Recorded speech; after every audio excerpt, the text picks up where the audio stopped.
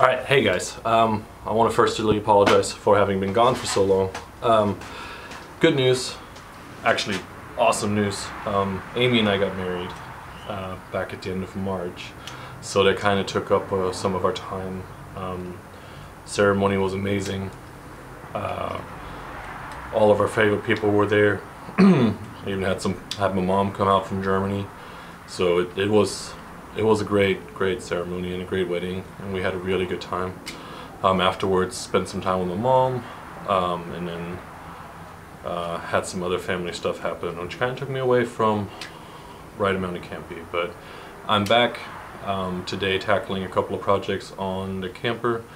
This is kind of a free flow day. I don't really know exactly what I'm going to be working on. Um, I know I still have that stupid cabinet in the back that I need to finish up. I don't know why that's taken me as long as it has been. I need to, I can start doing wiring, I can start doing insulation, like there's plenty of things that I can do. And I'm just going to go ahead and go with the flow and just kind of work on stuff. And I uh, hope you'll join along. Let's get to it.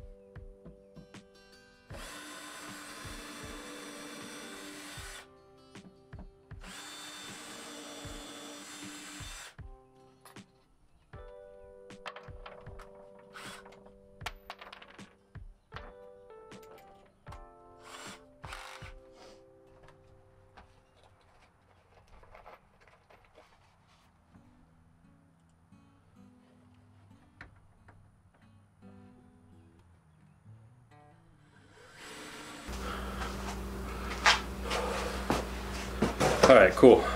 So now I get to kind of think about some stuff. That shelf is in place, which is good. Um, it's gonna obviously be faced and have doors and stuff on it eventually, but I don't want to take care of that today. I'm also, it's already almost four o'clock. I'm really not in the mood to pull out the table saw and start trimming some other stuff out. So I guess what I could go ahead and do, uh, I'm just gonna go ahead and start gluing in some insulation. The way I plan on doing the insulation is by using this aluminum um, insulation first and then go ahead and use styrofoam on top. Um, why? Honestly, no particular reason. Um, I have an inch space between the walls and I just want to kind of fill in as much as I, as I can with insulation. Um, I figured the more the better, right? Uh, so what I'm going to do here is just use some spray adhesive and start getting this cut down and glued in. Um, I'm going to just go ahead and put this into the empty panel so it's not going to have any wiring in it and kind of start giving a thought as to how I want to do the wiring as well.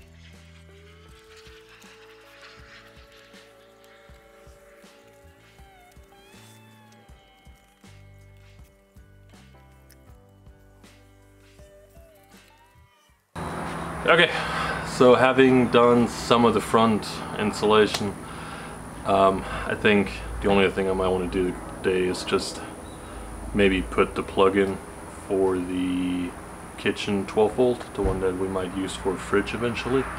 Um, so I'm going to go ahead and figure that out and go from there.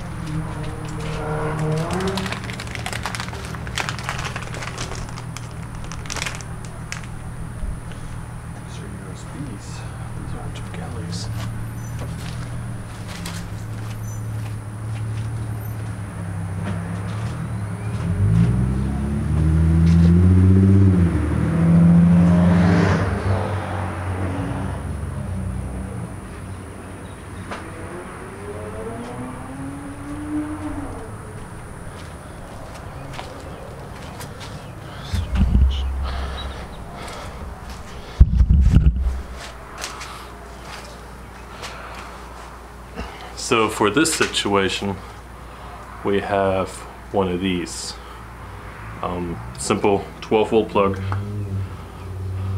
right? Nothing crazy. Um, trick is to these, get the hole large enough to fit this in being able to tighten this in the back. The thing, the thing about this plug though is it requires a certain thickness, right? The wall for the camper is only half an inch, which is fine, it'll attach to that, but I gotta have enough space in between here. So what'll end up happening to do this properly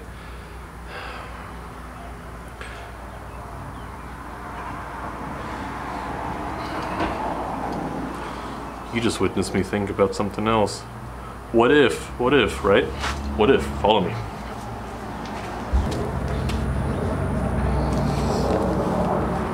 Alright. Okay, thanks for following. So, the initial idea was to put the plug somewhere in here, right? Against the wall, or against the, yeah, against the wall in the cabin. Seemed like a good idea at first, but here's the thing. I need to add an additional space, about an inch and a half, almost two inches, just to accommodate the space of this plug. Normally not a problem, but I'm already pretty limited on space inside the cabin. So, what I could do instead... What if I built a box and put it like here instead? Against the side of the cabin or the side of the um, kitchen galley. That way, the space it takes up is here, not not there. Okay, so taking measurements of this plug, this is all going to be faced against the wall from the outside. So I need to be able to fit all of this on the inside, which is inch and a half plus. Yeah, so I need a two inch space. Take half an inch off for the plywood or for the wall itself. Still gives me an inch and a half that needs to attach that I need behind it. Hmm.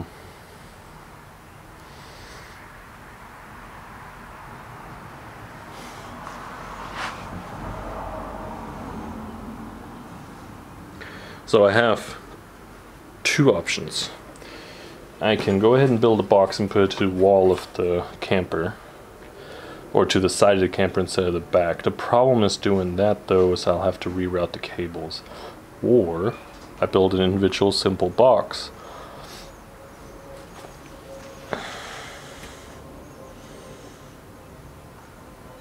And mount this one in the cabin and the, the the front cabin plug together inside the box essentially but not take away space from the rest of the from the rest of the thing. That should work. Yeah I think we'll do that. Okay. All right. Talked a lot but I have an idea